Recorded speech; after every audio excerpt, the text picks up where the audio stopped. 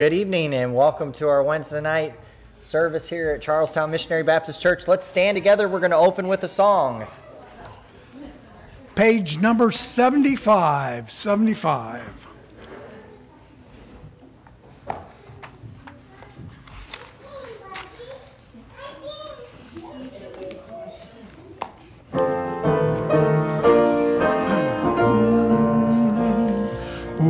Would you be free from the burden of sin? There's power in the blood, power in the blood. Would you or evil a victory win? There's wonderful power in the blood. There's power, power, wonder working power in the blood of the Lamb. Working power in the precious blood of the Lamb. Would you be free from your passion and pride? There's power in the blood, power in the blood. Come for a cleansing to Calvary's tide. There's wonderful power in the blood. There is power, power, wonder working power in the blood of the Lamb. There is power, power, wonder working power in the precious blood of the Lamb. Would you be whiter, much whiter than snow? There's power in the blood, power in the blood. Sin stains are lost in its life-giving flow. There's wonderful power in the blood. There is power, power, wonder-working power in the blood of the Lamb. There is power, power, wonder-working power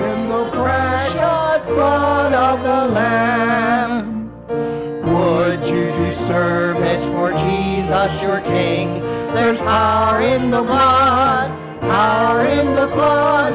Would you live daily his praises to sing? There's wonderful power in the blood.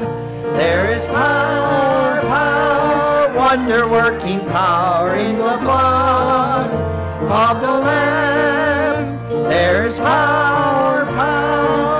wonder working power in the precious blood of the Lamb. Amen. Let's open in prayer. Brother Jim Kitts, would you open us in prayer, sir? Dear Lord and Heavenly Father, thank you once again for this time you've given us to come together tonight, Lord. And we ask for blessings on uh, the services that are here tonight, Lord, on each and every person that's here, each and every small part. Lord, we ask that you would uh, touch the pastor as he recovers. And there, there are no lingering problems from his accident, Lord. We just ask that you would bless the things that are said and done here tonight, that they would be uplifting to your name and bring you honor and glory. in Each and everything we do and say. In Jesus' name we pray. Amen. All right, let's sing again. Page 148. 148.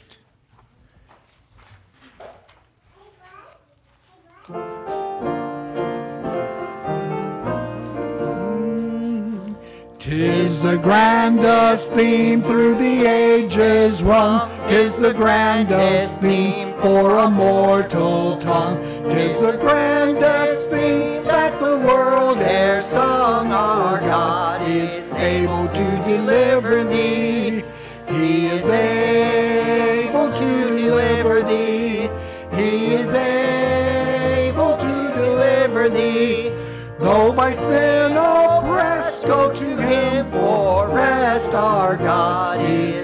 able to deliver thee. Tis the grandest theme in the earth or main. Tis the grandest theme for a mortal strain. Tis the grandest theme. Tell the world again. Our God is able to deliver thee. He is able to deliver thee. He is able to deliver thee. Though by sin oppressed, go to him for rest. Our God is able to deliver thee.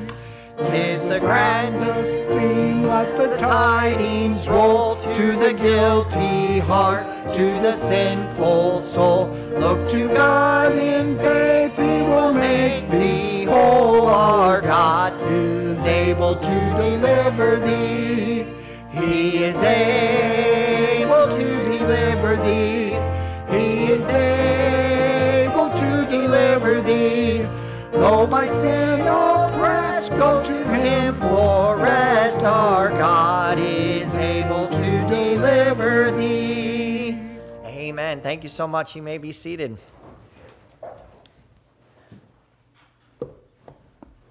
Oh, we'll just take a moment to make a few announcements and then we'll look at the prayer list uh, together. Uh, of course, don't forget tonight uh, we will be having our business meeting directly following the service. Uh, next Wednesday night uh, is Ministries Night, and we'll be having the ladies and men's Bible study groups meeting, uh, Awana, and also the youth group. July 28th is the gospel singing night at the county fair. And then uh, the final Sunday of this month, the 31st, is Youth Sunday. And then uh, August 5th, uh, just a few weeks away, is a teachers and leaders meeting in the fellowship hall. Dinner starts at 6 o'clock, and uh, the Gilberts are hosting that meal. And if you're able to help with that, uh, please talk uh, with Miss Debbie about that. And of course, uh, leading into our prayer list, of course, pray for Pastor. he did spend quite a bit of time last night into the morning in the hospital. Um, uh, somehow he managed to knock a ladder uh, onto his head, and uh, that. But the injury was more about his neck, I think, and so uh, they did a check on him and. It seems like everything so far was just that he hurt. It was more uh, muscle than it was any bone or in- injury like that. So, but he is very tired from the, the medicine that they gave him to try to help him uh, get some relief and relax the, the muscles. So be in prayer for him. And uh, of course, uh, we want to, uh, if you can, encourage him, let him know you're thinking about him and Miss Debbie. And I know they'll appreciate that. also, uh, continue to pray for these uh, on our prayer list. Uh, we're continuing to pray for uh, those grieving over recent losses. Uh, pray for the William Brenneman family. Uh, also, these dealing with sickness and injury. continue to pray for those with cancer Donnie Reed, Donnie McMillan, Pearl Horn, Hayden Weslow, the ladies from the pantry that were mentioned Bob Burns, Kimberly Pettit. Ed Hackett, uh, dealing with lung cancer, Craig Henry, uh, dealing with uh, lymphoma, uh, Patricia Music, this was a request given to us uh, online. she's dealing with cancer, Danny Paisley, Donna Andrews, Jeannie Sizemore, Arthur McMillan, Kevin Hollenba, Eric Klotz, Rita Shinneman, Joshua Watson, uh, his mother, uh, this is another online request. She's dealing with cancer. Uh, Carl Stanley dealing with colon cancer. Uh, Bob Lance and Norm Meadows uh, is dealing with bladder cancer. Pray for those. Uh, continue to pray for these under heart related issues Joanne Gilly, Mickey Gilbert, and Paul Mullins. also, these specific needs pray for Brother Jim. again, with his shoulder, continue to pray for Mark Thompson and Ralph Miller. They're both still recovering from a fall uh, James Kenner, Elva Salas, uh, Joyce Murphy. And again, uh, also continue to pray. I don't. Has anybody gotten an update on Brother Al? I I had not. Yes, Adam. I talked to him yesterday. He's still um, he's pretty good. Okay. He's just very tired. Sure. It's going to take time. Okay. Yeah, I, I talked to him yesterday.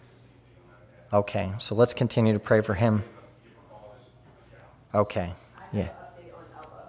Yes. She has lost almost all her sight in her left eye. Okay. We're hoping to correct the sight that she does still have in her right eye with glasses.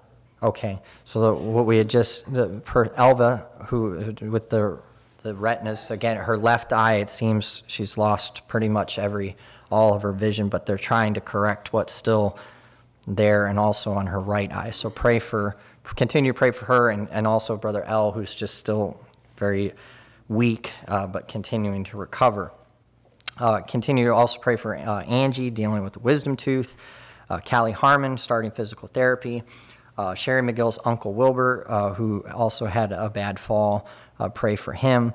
Uh, Tiffany Smith, uh, Jerry Stapleton needs a, a liver transplant, pray for him.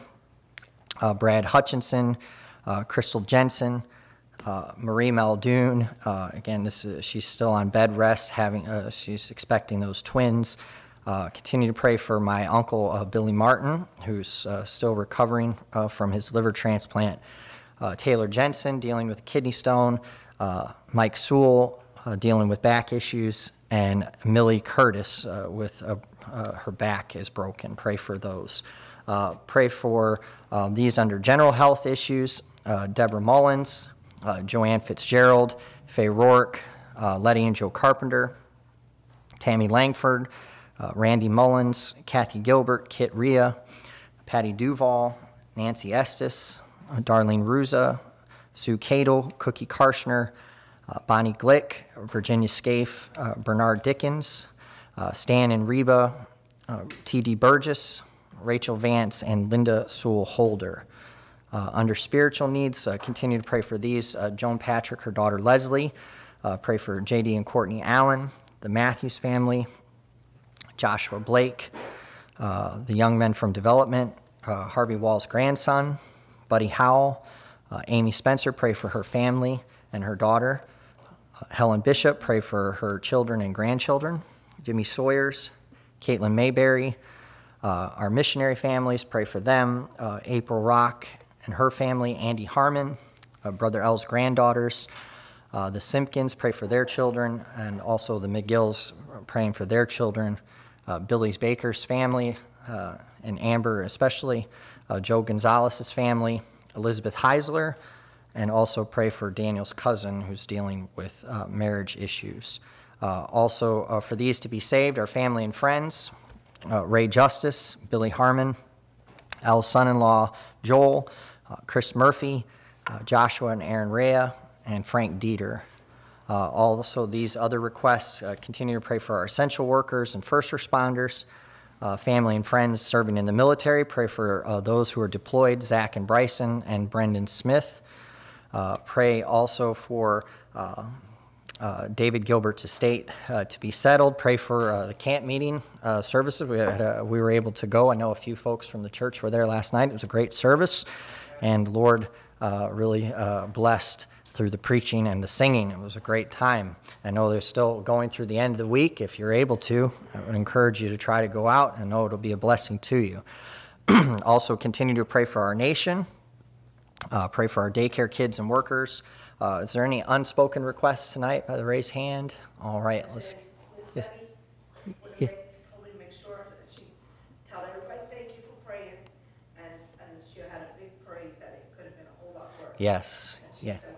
Yes, and that is a praise again that uh, with uh, pastor's uh, accident that it wasn't worse, uh, and we're certainly thankful uh, for that. Uh, also, continue to pray for our, our nursing home ministry, and also pray for these who are traveling. I know the Harmons are away, and also the Overbays are away. Can, pray for those, and then also again, also these other praises. You know. Um, uh, Rachel Vance. Also, that was mentioned, uh, I think Lois had mentioned it, uh, that there was a church in Virginia that she had mentioned they had voted uh, on a new pastor, and he is going to come on, and they praise the Lord for that. Uh, is there any other requests that we need? Yes, Brother Jim. Okay.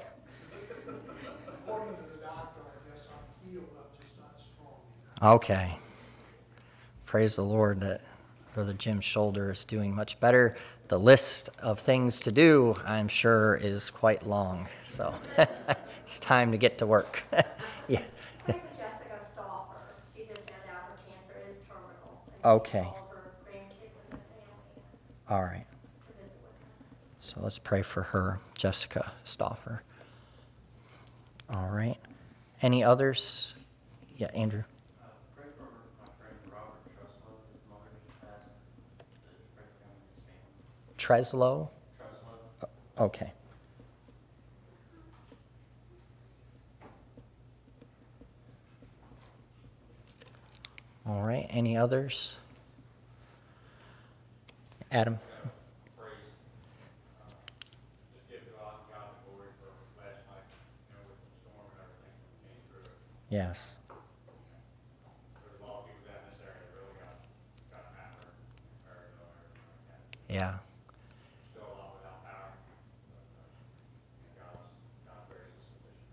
Yes. Yeah, we're. It came through Perryville pretty hard, and uh, there was a lot of stuff laying around after it was over. But we're thankful everything was okay at our place too. We do praise the Lord for that. I know there are a lot of people, a couple of churches that I know in over in Harford County that aren't having service tonight because there's no power in Churchville. There's no power in a lot of Bel Air still. So, uh, but we praise the Lord uh, for His protection over many here. We're thankful for that. All right. Any others want to? All right. Well, if we will, let's everyone who's can and is able to come, we'll gather around the altar. We'll pray over these, and let's go to the Lord. Amen. It's wonderful that we have the opportunity to come to the throne of grace at any time. Let's pray together. And I'll ask Brother Rick Gilly, would you lead us in prayer tonight, sir?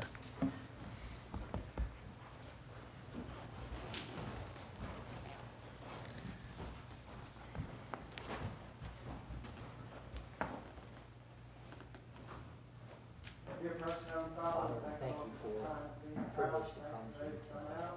Thank you for your love to us. Thank you that Jesus Christ, your Son, has died and has risen again and made a way for us to come into your throne room right now. We thank you that you do hear and answer our prayer. And Lord, we do want to lift you up tonight. We thank you for the provision that you and protection that you have given to those who are here tonight. You know, some without power, but Lord, you know our lives, our homes, everything is okay. We thank you for that. We thank you for your protecting hand. Lord, we thank you for your hand of protection over Pastor Dennis. And Lord, even though he was injured, it, was not serious. He's not so serious to do anything to him. Lord, we pray for him. that You would help him to recover, help him to rest, uh, and to uh, have the pain subside. And Lord, we also Lord, just pray uh, for those who were mentioned, uh, again, uh, Nancy and Ernak, I pray that you would give her relief and comfort. Lord, we also pray for uh, these, uh, Jessica Stauffer, Lord, who's who's in terminal cancer diagnosis. Lord, we just pray for her, we pray for her family, that you'll give them comfort, and Lord, that your will will be done, and that she can be healed and delivered, Lord. Uh, But it would all be done for your honor and glory. Lord, we pray that you be with uh, the service tonight. We pray that you would meet uh, with us, help us to hear from you and your word. And again, we love you and we thank you for the privilege to come into your presence. We ask that in all things, Jesus Christ would be lifted up in our presence tonight. For we ask it in his name.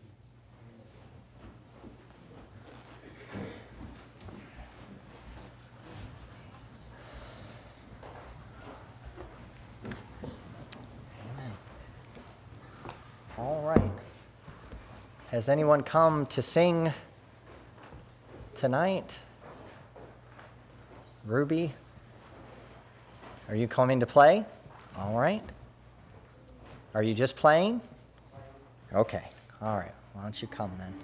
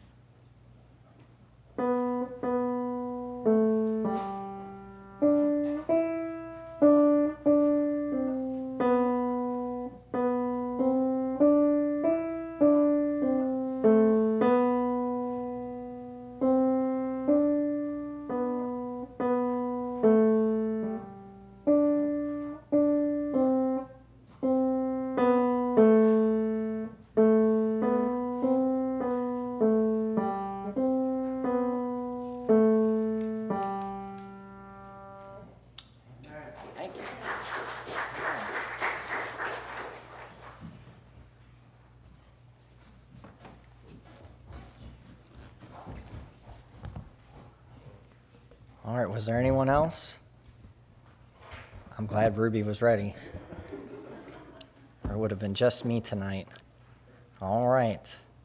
All right. Thank you, Ruby. I appreciate that. Thank you for doing that for us. Let's take our Bibles this evening and we'll turn to the Gospel of Mark, chapter number 12. The Gospel of Mark, to the 12th chapter.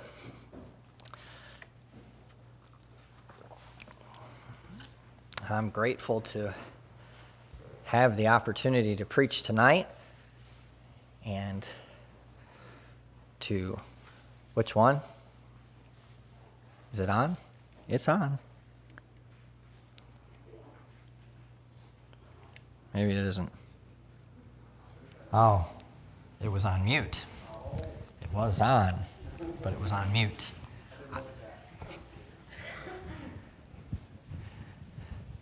No problem.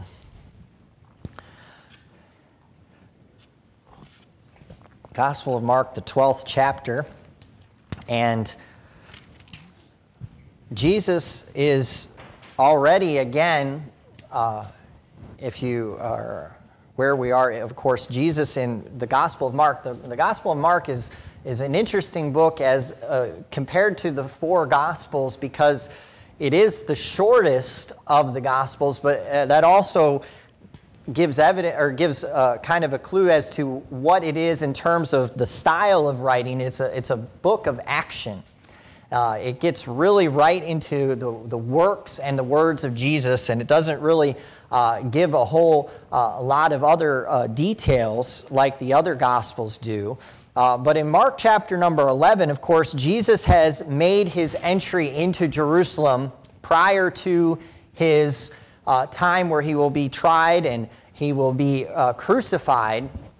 Uh, and of course, again, uh, in leading up to the time where Jesus is going to be uh, betrayed and where he is going to be put on trial, his authority is questioned by the spiritual and religious leaders of the day.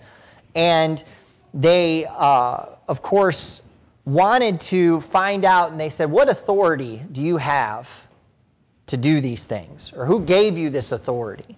That's how, they, that's how chapter 11 really ends and concludes is uh, Jesus saying, well, he, he asks, they ask him a question, and uh, then he asks them a question. He says, Well, I'm not going to tell you because you can't answer my question. I'm not going to tell you uh, by what authority I do these things.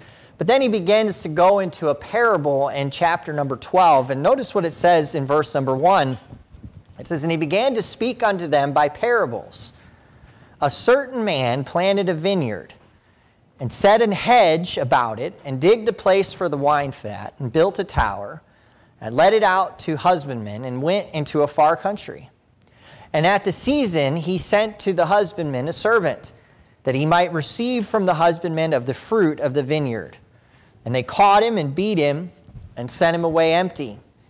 And again he sent unto them another servant, and at him they cast stones and wounded him in the head and sent him away shamefully handled. And again he sent another, and him they killed, and many others, beating some and killing some. Having yet therefore one son, his well beloved, he sent him also last unto them, saying, They will reverence my son. But those husbandmen said among themselves, This is the heir. Come, let us kill him, and the inheritance shall be ours. And they took him and killed him, and cast him out of the vineyard. What shall therefore the Lord of the vineyard do? He will come and destroy the husbandman, and will give the vineyard unto others. And have ye not read this scripture? The stone which the builders rejected is become the head of the corner. This was the Lord's doing, and it is marvelous in our eyes. And they sought to lay hold on him, but feared the people, for they knew that he had spoken the parable against them. And they left him and went their way. And I want you to notice with me, of course, and, and we're going to continue reading uh, further into the chapter, but let's, let's just get uh, the picture of what Jesus is trying to say here. Remember, they had already questioned, they said, By what authority do you have to speak and to teach and to do these things that we've heard that you've been doing all throughout uh, the, the, the, the, nation of Israel? And, and what authority do you have to do this? Who has given you that authority? Well, in chapter 12, he, he does, in fact, uh, by way of a parable, in, if you think about it, he gives an answer to the question. And what he does is he describes and says that a certain man planted a vineyard. And then he describes all the things that he did. And, and, notice how it's described. It's, he set a hedge about it, digged a place for the wine fat, and built a tower, and let it out to husbandmen, and went into a far country. If, uh, first off, let's consider verse 1 and notice that Jesus here is using this imagery to describe God and the nation of Israel. And how here is this man who, uh, of course, if you imagine here for a moment, this is God who planted this vineyard. He made everything uh, about it that was uh, good for, for having and to be profitable to do things with. And it was all prepared by him and yet given, notice, says to a husbandman, let out. It's the description of how God, who delivered his people out of bondage in Egypt, and brought them where? Into the promised land. Now, of course, if you remember, when the promised land is described uh, throughout the, the journey of the nation of Israel as Moses, who led them first and led them all the way uh, for uh, over 40 years through the wilderness because of unbelief. But remember, when Moses sent the spies in to give a report on the land, they described it as what? A land flowing with milk and honey. A land, they, they brought these, these giant uh, grapes and, and, had brought all these things and said, it, it's, it's a land that we can be very prosperous in. And if you think about it, he brings them into this land, and it's a, a land even today, if you consider the, uh, the geography of the Middle East the nation of Israel in that particular area is, is, is, is completely different compared to the regions surrounding it. Right? The Middle East, of course, is, is, is prosperous because of what? Because of oil. But it's oil in the desert, right? But the nation of Israel is a very, what? It, it, it has a, a thriving agriculture. It's a different, it's a different climate. It's, it's a, along the Mediterranean. It's a, it's a beautiful uh, country. And yet, it's all there and given to the nation of Israel. It's all there prepared for them. They didn't do anything, right? It was already made ready for them. And God gives it to them. And notice it, then he continues on, though, because in verse 2 uh, through verse number 5, it says, At times he would send servants. What? Because remember, God gave the nation of Israel the promised land. He, he said, I will be your God, you will be my people. But there were conditions to what God had given to them, right? But what happened? Did they obey the command and the covenant of the Lord? Did they keep their end of the bargain? No, they didn't. Often we see throughout the Old Testament and through uh, the passages uh, on the nation of Israel, they did what? They left the God of their fathers and went to serve Baal or went to serve whoever uh, was, was popular at the time. And yet, throughout that time period, God would do what? He would send prophets, wouldn't he? He would send men to remind the people of Israel of who they were and what God had promised and what God had commanded them to do. But what would they do? They would reject them. Notice here it says, verse uh, 2, it says that he might receive from the husbandman of the fruit of the vineyard. God was saying, Hey, I'm ready to receive uh, an accounting for what I've given to you. Remember, not only were the people of Israel supposed to worship him, but they were to do what? They were to give of the, the fruit of the land. They were to give not only of the fruit of the land, but of their time and all those things that God had commanded them to do. But notice it says in verse 3, it says, They caught him, they beat him, and sent him away empty. Verse 4, it says, Send another. They cast stones, wounded him in the head. Verse 5, it says, They killed many others, beating some and killing some. Hey, think of the, some of these prophets and what happened to them. But then notice verse 6. It says, Having yet therefore one son, his well beloved. It's interesting when you think about it like that, right? Think of John 3:16, for God so loved the world, he gave his what? Only begotten son.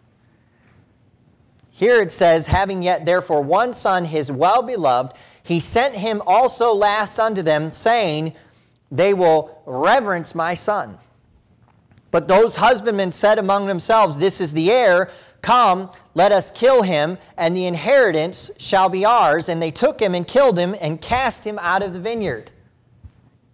Now, it's interesting because this parable here now is, is stepping a little bit into what? Into prophecy. But if I could go back and think about what uh, the, the Bible says in John chapter number one, where it says what? He came unto his own, and what? His own received him not.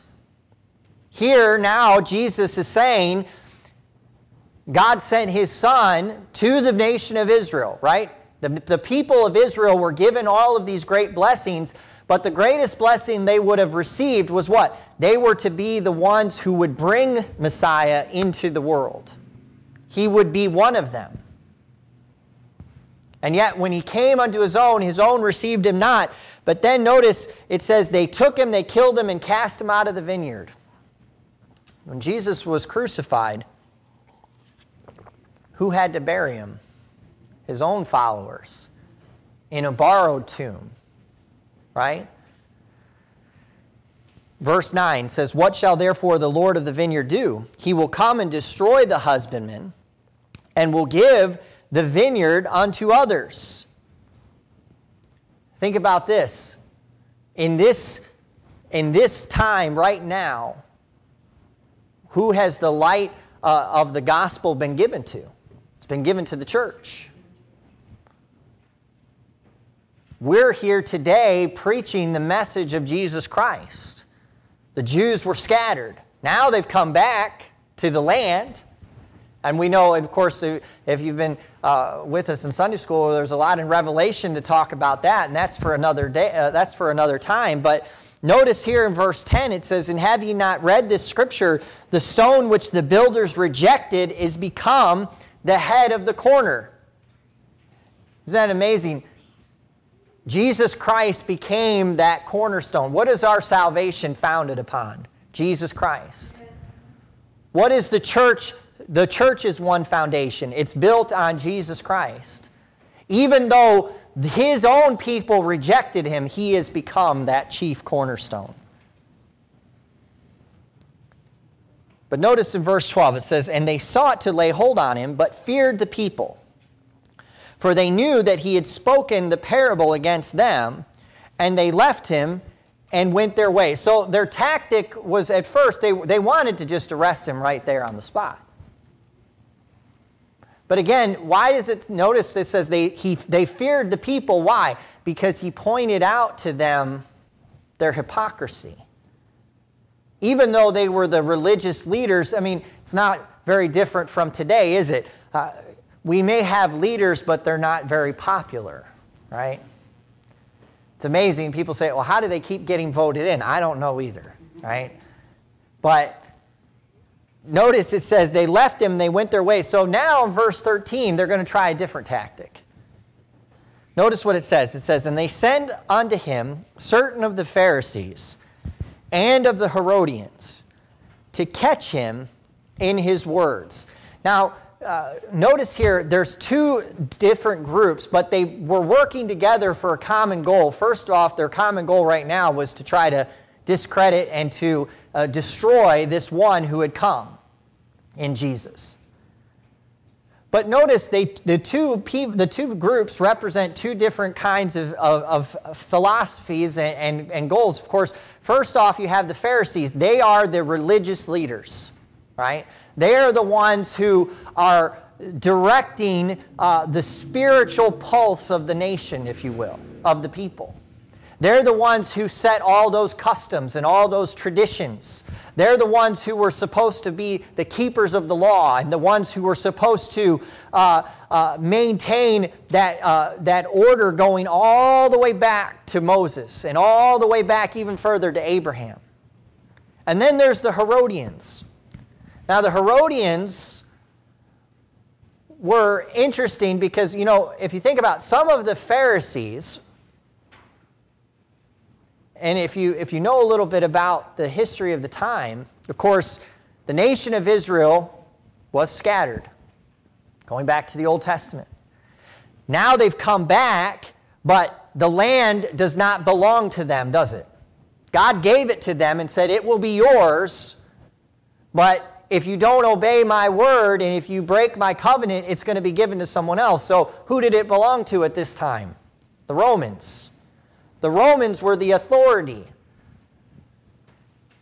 They had the seat of power, they had the, the military to maintain an order over the people. So, if you know, of course, most of the Pharisees were willing to stay in line with that. Some of them, though, were like, you know, remember what Peter said, right?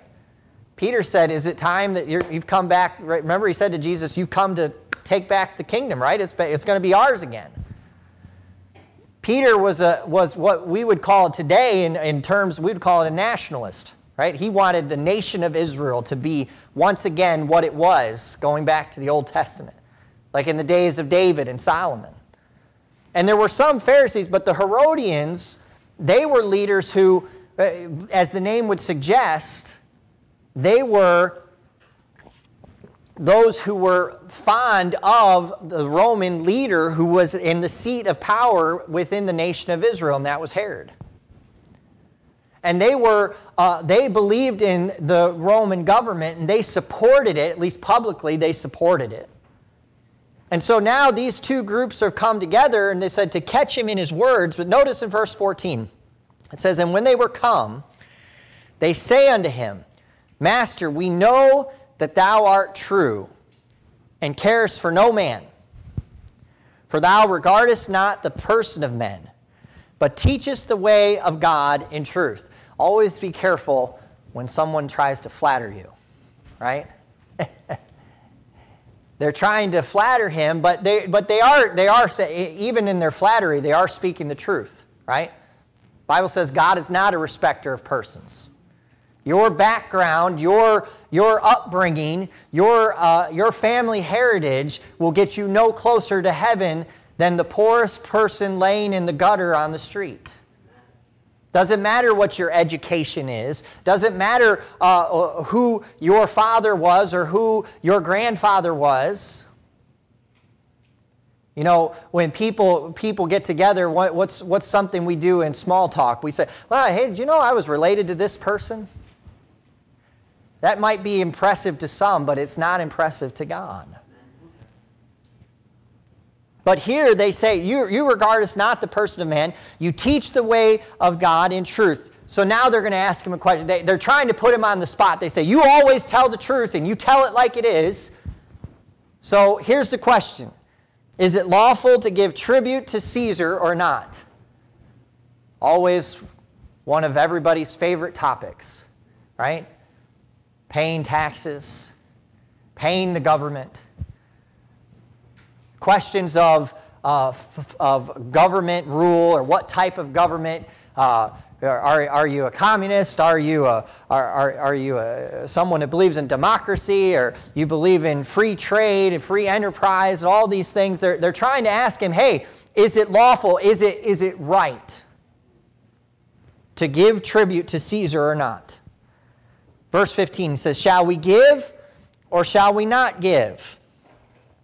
But he, knowing their hypocrisy, said unto them. Now, of course, what was their hypocrisy? First off, they were just trying to get him to say something that would, if anything, embarrass him, but what were they really trying to do? They were trying to make him look bad in front of the people so that they could justify arresting him. And so he, knowing their hypocrisy, said unto them, Why tempt ye me? Bring me a penny that I may see it. And they brought it. And he saith unto them, Whose is this image and superscription? And they said unto him, Caesar's. And Jesus answering said unto them, Render to Caesar the things that are Caesar's, and to God the things that are God's. And they marveled at him. Now, of course, here's the, here was the problem. If Jesus had answered yes, right? Said if he had said yes, it, it's lawful to give the tribute to Caesar. Now, remember, of course, uh, the question, and, and, it's not just a, a matter of tax here, right? It's not just a matter of taxes. I know that in, in America, supposedly, we give our taxes because we freely decided that we should give taxes for the benefit of the, of the state, the community, the nation, right? We, we willingly pay of our own free accord, right? But here, the tribute was what? A conquered nation's tax. Were they paying for protection? Sure. Were they paying for uh, basic uh, public services? Sure. But they were also paying for the fact that they said, don't forget that we are in control that we are the ones who conquered you. And of course, you know, the Romans, they, they had conquered the Greeks who had previously controlled, who had taken control from the Persians, who had taken control from the Babylonians. If you think about, you know, remember Daniel's uh, uh, and uh, Nebuchadnezzar's vision of the statue of the four, uh, the four different types uh, uh, of materials that statue was built. Of course, we know is the Babylonians controlled the nation of Israel for a time. Then the Persians came in. that was even during the time of, of Daniel. and then, of course, the Greeks had it for a time, and then the Romans now were in control. And so they said this tribute if he had said, yes, it's lawful, you think the people would have been happy with him? No. Why? Because every time they paid that, they had to be reminded that they were living in a conquered land. If he had said no, then what? The Pharisees and the Herodians could have simply said, see, this guy is a troublemaker. We got to arrest him. I, I know this word is this word could really get me in trouble today, but you know, he said he might want to lead an insurrection. But that's what they could have said. They could have justified that and said, this guy is against the government and against the authorities. And so Jesus here, of course, he knew their hypocrisy. And so he said, listen, bring me a penny. Now, of course, the image we see, we see here, very simply described, the image borne on that coin was the image of Caesar. And if you read about it and study about it a little bit, notice Jesus said the superscription. Of course, today, now, see, I always have to be careful when I do this because you never know. It's embarrassing if I walked up here and there was actually nothing in here. Uh, but no, I always make sure. Um, but today, you know, in the United States, of course, I don't know how much this applies, but it is still on there, right? What's on the back? Yeah, I know it's too small for you to read, but I'm assuming you know what it says back here. What does it say? In God we trust. Now, of course, on the front, it's a picture of George Washington. It says the United States of America, but it doesn't. Uh, if you took a, a note from another country, a lot of countries, what would it say on it? It would have a picture of someone who was what? Royalty. Something that would say, this person's in charge. This person is our, our king, our, our queen. And, and it would even, some even state that they not only have royal authority, but they have what? Divine authority. Well, that's what that coin would have said. It wouldn't have just said a picture of Caesar. It would have said, This is, in essence, our God. This is our ruler, our divine ruler. He cannot he cannot make a mistake. He cannot uh, have a flaw. And so when Jesus said, Whose is this image and superscription? They said unto him, It's Caesar's. And then, of course, we know the answer to this question. It's, it's a pretty well known uh, verse. In fact, I would say, even amongst uh, non believing people, those who have a, a, a nominal understanding of Scripture, it's probably one of the more well known because it does deal with something that a lot of people understand in talking about government. And tonight, though, for a few minutes, I don't want that first phrase to be the focus. Because rather than looking at render to Caesar the things that are Caesar's, I'm not here to tell you tonight whether or not you should pay your taxes. That's up to you. And if you want to go that route, God bless you. I don't, I don't know what to tell you other than uh, we try our very best to pay ours. And uh, if you don't want to do that, uh, well, have fun. Uh, but notice the second phrase. Because the first phrase, it, that question was not the important question to Jesus, was it? Because he said, render to Caesar the things that are Caesar's. It was very simple. Even what I showed you a moment ago. That currency was printed in the United States of America. In essence, it belongs to the United States of America. It's been given to me. But it's been given as a statement of uh, the ability to pay for something. But here, Jesus said, Render to Caesar the things that are Caesar's. He said, He made that, it belongs to Him. But the more interesting statement that Jesus made was what? And render to God the things that are God's. And if you think about that for a moment, I want you to turn with me, because let's consider some things that belong to God tonight. If you would, turn with me back to the book of Genesis. Let's go all the way back to the beginning. In Genesis,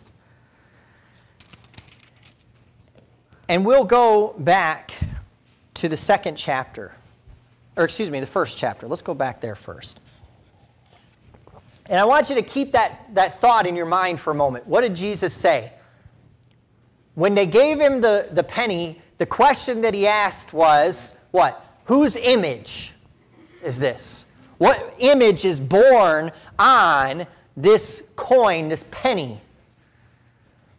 Well, notice what the Bible says in Genesis chapter number 1 and verse number 26.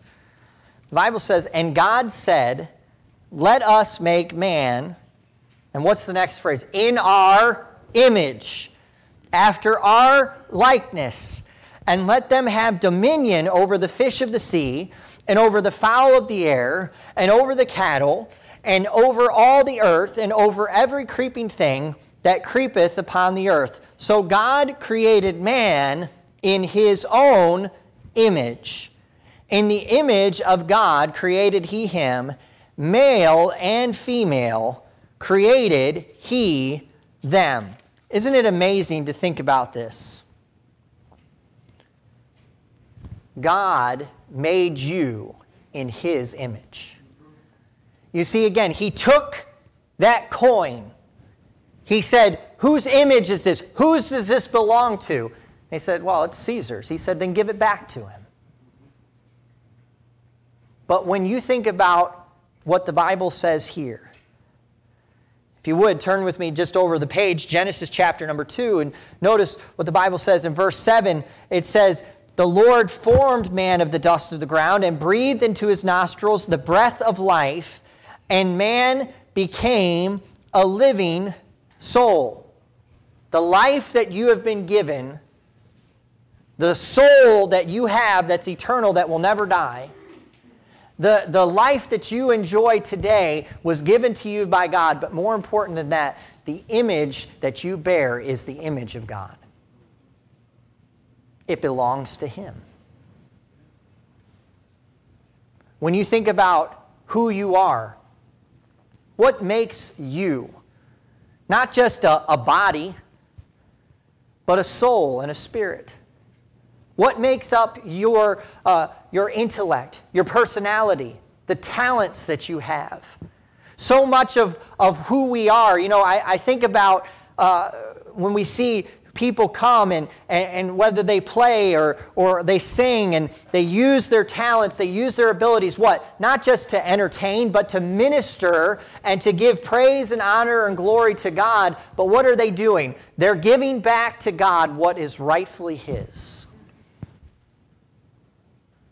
When we think about the, the questions of life today.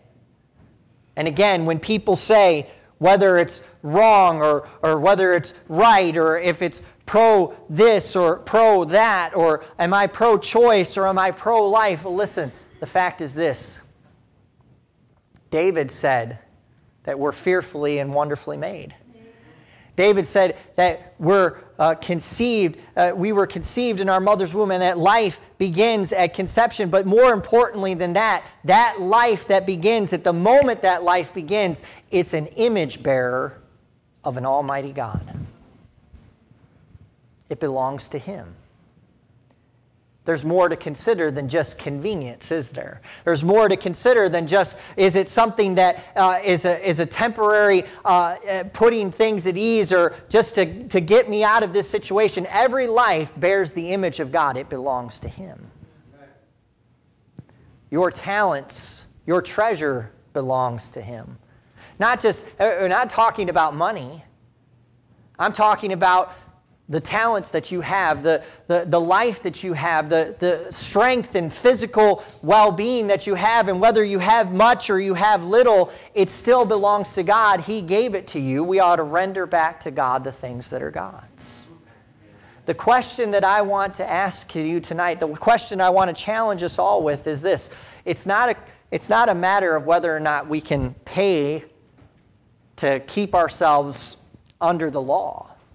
The question is this can we give back to God the things that belong to Him? You think not just about your family or, or your, your, your personal life, but your family. When the Bible says that children are a heritage of the Lord, it's our children have been given to us by God. I think about Hannah. And if you would, turn with me there. Let's go to the book of 1 Samuel. 1 Samuel, and we'll go to the first chapter. 1 Samuel, chapter number 1.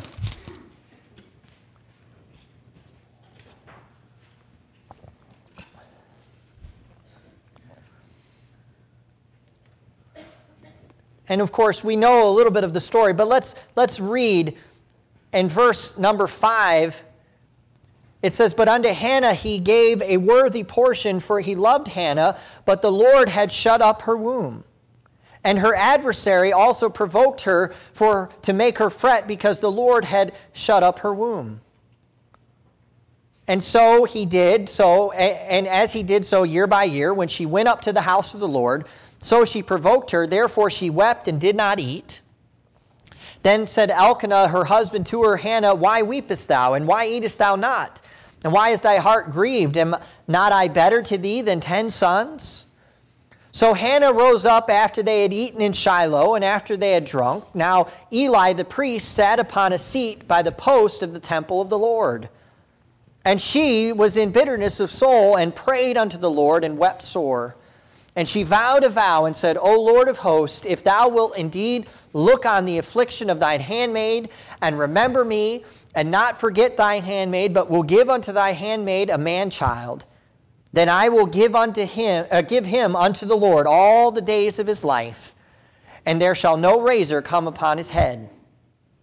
And it came to pass as she continued praying before the Lord that Eli marked her mouth.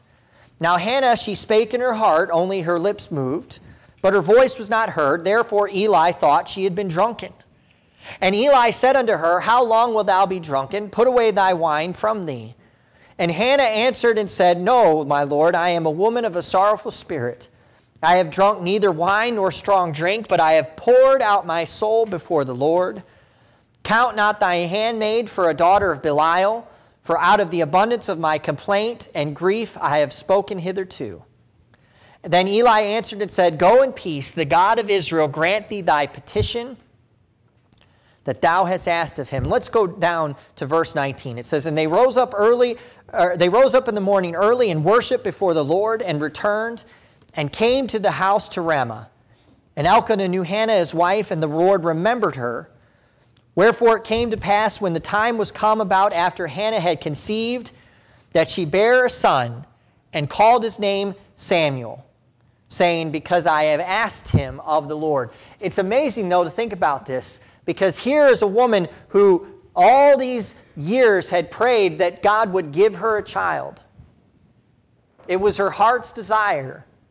But within that desire and within that prayer, she said, Lord, if you give him to me, I'll do what? I'll give him back to you. And this is really where I want to just kind of bring it back to a moment because we think about the question that Jesus, or the statement that Jesus made give unto God the things that are God's. I can tell you this in my life and, my and what I will say, and I don't want to, but I want to challenge all of us to think about it in our own lives.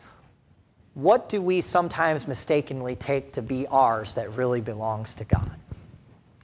What is it that we are holding on to that we need to simply say, Lord, I want to give it back to you? It belongs to you.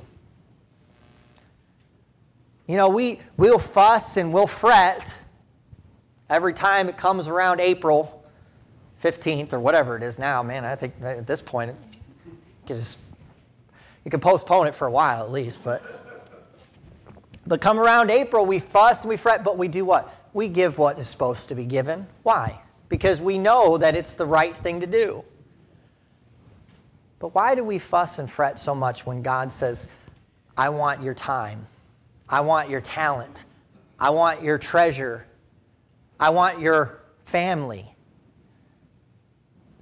You know, I should never be so uh, selfish to think, Lord, you've given me these kids, and, and, and now I, I want them to do what they want. No, I want to make sure that my kids know hey, there's nothing better than serving the Lord. There's nothing better than, than being a part of, uh, of, a, of a Bible believing, uh, gospel preaching church where we come to not only hear the Word of God, but where we get equipped to go out and serve Him and to love people and to love the community and share the gospel. And you know why? Because everything that He's given to us, we ought to be willing to say, Lord, in the abundance of my heart and in gratitude and thankfulness for what you've given to me, I want to give it back to you. I want to give of my time. I want to give of my strength. I want to give of the, uh, of the ability that you've given me and, and not be stingy about it. People take all the time to try to cheat their way out of pain and, and defrauding and, and, and getting more back than, than what they should from the government. But, Christian, why should we be the same when it comes to the Lord? Why should we be so uh, trying all the time to think, well, you know, uh, not this week, uh, maybe not today, uh, I'm not feeling up to it tonight, or I'm not coming uh, for this or for that. And listen, I, you know, between you and the Lord, you have to decide what you and your family are going to do. But I want to encourage you with this give back to God what He has given to you. Don't look at it as, I have to do this. Look at it as, I'm just simply giving back to God what He's given to me. I know we took a lot of time to read Scripture and kind of build the foundation. The challenge is very, very short and to the point. The question or the statement that Jesus made, I want to turn into a question. You know what belongs to God. Are you going to give it back to Him? You know what belongs to Caesar, right? Every paycheck, you find out, again, what belongs to him. And every quarter, come property tax time, you find out how much belongs to him. Right? But the question is this do you know what belongs to God? Your family, your time, your treasure? Who's given you all these great blessings? I want to challenge you with this. Let's give it back to God. Amen. Let's pray together. Father, we thank you for your love. We thank you for the life that you've given us, the talents, the abilities, maybe not always in our bodies a full measure of health or physical strength, but Lord, what you have given us and what you have given us in family and talents and abilities, what you've given us in family and, and children, it all belongs to you. Lord, help us not to be stingy. Help us to give back what you have given. Like Hannah, who said, Lord, if you would just give me a child, I would give him back to you. Lord, may that always be our desire and our mindset that we would give back to you the things that belong to you. Lord, we pray again for our pastor that you would help him to uh, rest and recover, and, and uh, his body will heal, and that you'll relieve him of any pain that he might be feeling. And Lord, for all those that were mentioned uh, tonight, we pray for them uh, that you would continue to just in the lives of people here and the burdens that they have, may you heal sickness, meet needs, and deliver from evil, Lord, and bring spiritual healing. Lord, we pray that you'll, again, bless our church. We pray that you'll bless uh, the remainder of our time here together, for we ask it in Jesus' name. Amen. Amen. All right.